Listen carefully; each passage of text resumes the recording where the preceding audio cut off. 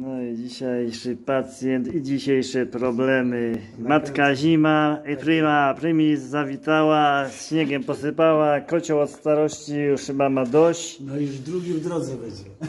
W drodze? Tak. W drodze na jednej nodze.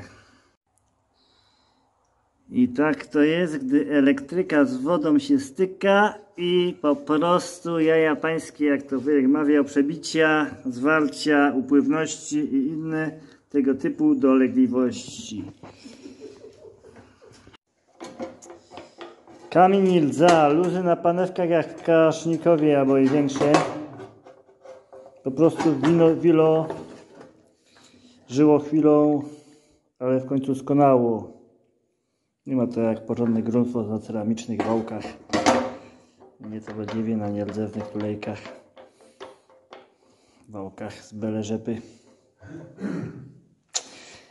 No ale tutaj jest problem, jest problem. Przeszczep niby jest, ale pompa nie działa. Cholera wie, sterowanie może padło już od starości 15 lat. To już jest po prostu agonia techniczna.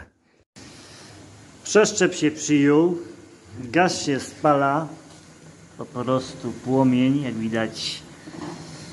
Gaz od wujka Putina, na którego się Europa wypina. Centralnej. I wszystko się tak dzieje. Będziemy zakładać boczną obudowę tego kombajnu. Jest taka maszyna, zbiornik zbiorniku. Problemów bez liku. No i składamy obudowę. To jest taki pacjent, jakiś francuski wynalazek. Działa jak może. No i tyle.